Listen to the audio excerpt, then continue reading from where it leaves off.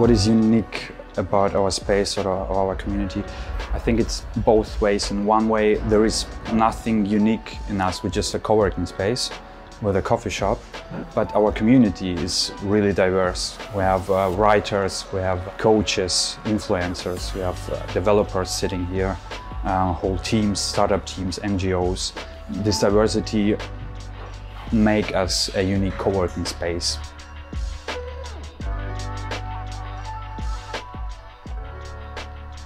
For us, it's really important to be part of this neighborhood. So we're not trying to do more than what we do. We have a co-working space, an office space, we have a coffee shop.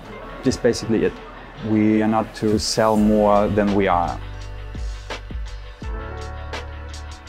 We have neighbors who provide a lot of stuff, uh, food, clothes, different kind of things, and we're trying to to be neighbors. For us, it's important uh, to be part of this neighborhood and to um, invest in this neighborhood.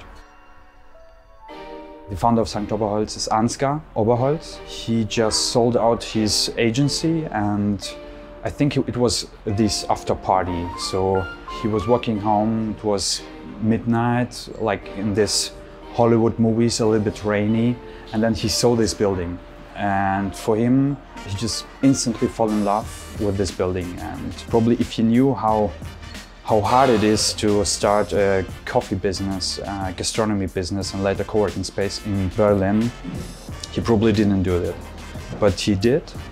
Happy are we because the history of St. Oberholz started that night with this man.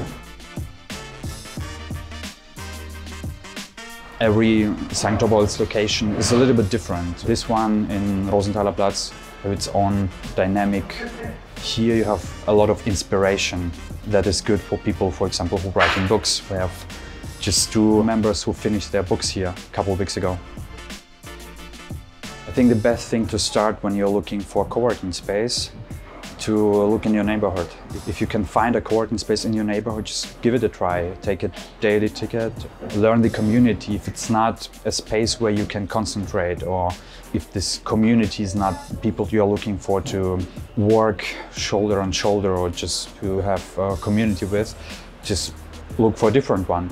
Maybe you can come to St. Oberholz and uh, check on our community, check on our co-working spaces.